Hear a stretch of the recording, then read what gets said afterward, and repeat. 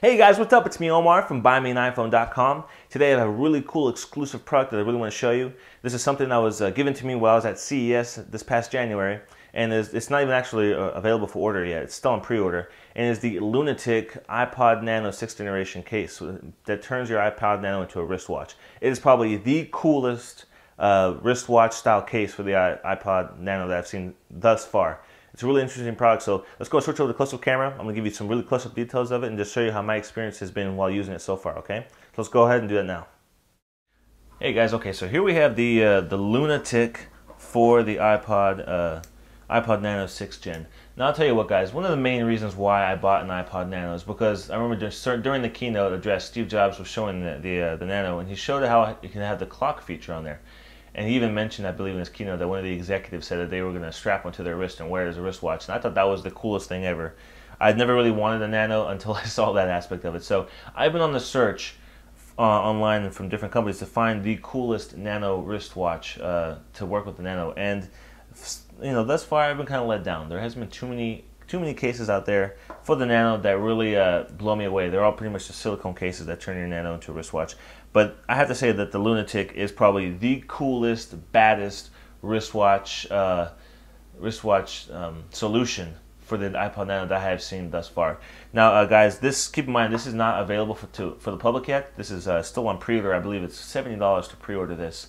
Um, I actually got a hold of one of these uh, while I was at CES 2011 um, one of the distributors there that we have a really good relationship with, actually had two of these on hand. He had the one, I think he was using one of them, and uh, it doesn't even have any packaging. It actually just comes in a plastic bag. Um, and so he, I mentioned to him now how I was looking for nano wristwatches, and he mentioned to me the LunaTik, and I, I practically, you know, fainted because I remember seeing, I've been keeping up with the LunaTik when they were on Kickstarter, mentioning how they were trying to raise money to uh, be able to start selling these. I just thought that was the coolest looking thing ever. So if I could ever get my hands on one, it would be like, you know, the bomb and he mentioned he had one there, so I practically fainted. So this is something that's designed by Scott Wilson the, with a company called MNML, that, was mentioned earlier. So this is the sample that we have here. As you can see, the Nano's already in there. You can put the Nano in there too, whichever way you want, whether you want the, uh, the dock connector facing on this side or on the other side. It doesn't really matter either way.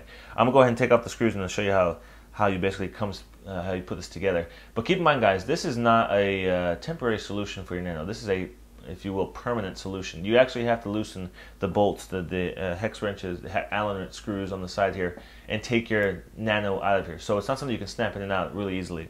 So when it's in there, it's in there. When you want to take it out, it's going to take a little bit of time for you to take, that, take out the Allen wrenches and unscrew the screws. So this is made of a machined aluminum here, aircraft aluminum, really sharp, really nice looking. The the quality, the craftsmanship is is very awesome. The design uh, Scott Wilson did an incredibly awesome job designing this. The only thing I kind of wish they could have maybe thought differently is the way the seams are here. These two pieces come together right here in the middle, so you can see the seams right here on the edges. I kind of wish they were maybe like on the sides over here somewhere to where it wouldn't be so obvious instead of just being straight down the middle. Not a big issue, but just one of those things where you know, like my bottom one here doesn't it doesn't line up exactly perfectly, so you can kind of tell it's right there. I think if uh, maybe if they, they finish this out a little bit better, and they, it may not be as easy to tell that the seams were there, but on mine it's pretty obvious. So the other thing I, I would like to see change too is the, the band. It, they use a pre premium silicone, but I kind of it's like it's like that gummy, stretchy kind of silicone that you see in a lot of cases. I'm not really digging it though. I don't really like it. And for me, I got hairy arms, and when I'm using this, this pulls the hair out of my arms like crazy. So it gets kind of it gets kind of annoying a little bit for me, especially. I mean, I'm sure the average my average viewer probably doesn't have hairy arms like I do, but I'm sure some of you guys do. And that's one of the things I kind of noticed with this the silicone. It kind of sticks to your arm a little bit. I wish it was like a harder plastic instead of such a, a stretchy silicone. As you can see here, we got this little piece right here, this metal, this metal piece. And what's cool about that is, depending on how you're putting on your wrist, you can actually pop it out like that and move this to different positions. So for me, my wrist is pretty big, so I just keep it here in the end, like that. So that way, and you push it all the way through. So that way, whenever you put it on your wrist, I'm to put it on real fast for you guys. And this band is really thick, so I don't think females, most females aren't going to be liking that too much because it is a thick, a thick wristband. So we put on there, see a little extra hang off. And that's what you uh, poke through the end here. There you go. And that's what keeps that flush. So it keeps that band, the extra little you have hanging off, keeps it there flush. So when it's on your wrist, it looks just like a wristwatch. I tell you guys, I got a lot of looks from people asking me where I got my watch from. I showing, I was doing the touchscreen. Most people didn't even realize it was a nano that was inside of here. But uh, it's been really cool, I've gotten a lot of interest, a lot of interest from people that have been checking me out with this watch and asking me questions about it. So, okay, guys. So here we have the. It includes two Allen wrenches here, and the one thing to keep in mind is when you're loosening these screws up, you have to keep one on both ends because or else it'll just free, it'll freely spin, and you won't get anywhere. So, so you got one in there, pop one in here, and then basically just loosen up. So I'm gonna jump real fast and go to me being done with this. So there's your first screw right there. Very small, very tiny. Okay, so okay, so once you take those screws out, you basically just pop it up and it loosens up right there. And it just slides back out like that. There's one piece right there. Take the nano out, put that to the side. And there you go. And so this actual piece, you don't have to take this other screw out over here that can stay into place. It's just the other side there. I mean, if you wanted to though, you could you could take both of them off. So we have this piece right here. So these two pieces come together like so. And then you screw in the screws and that's what holds in the nano in place in there. So really nice quality aluminum. I mean any, any Mac lover is going to love this this all this aluminum very Mac-esque if you will Apple-esque.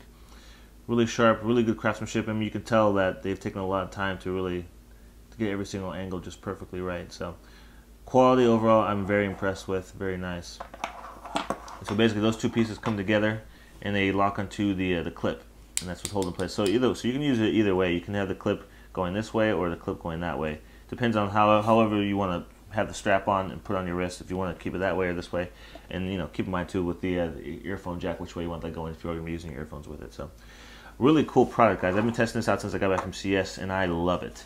Uh, like I said, the only thing I would like to see maybe changed or tweaked a little bit is maybe have a different quality uh, silicone for the band. Maybe I would kind of prefer like a hard plastic instead of that spongy, stretchy kind of silicone.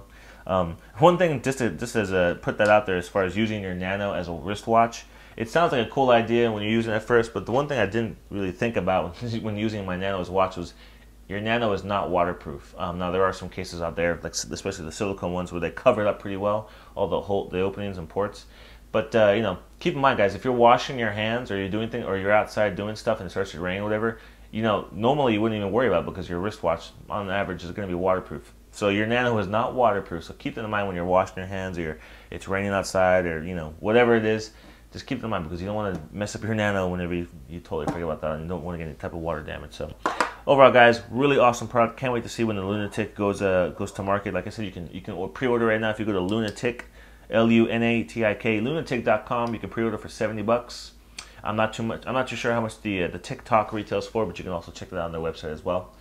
And uh, that's to be it for me today, guys. If you guys happen to own this product, uh, whenever this goes to market, and you uh, have any issues or things you want to mention, go ahead and post a comment below my video. I'd love to hear back from you. So I'll see you guys in the next video review.